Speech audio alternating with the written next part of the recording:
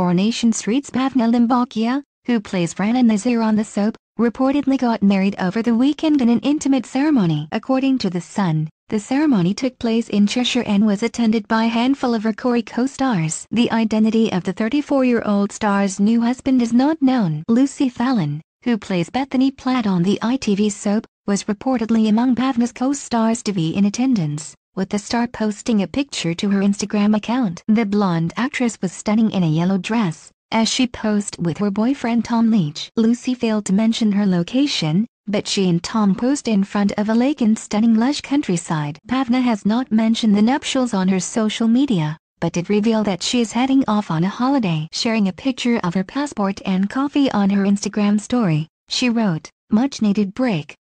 Okay.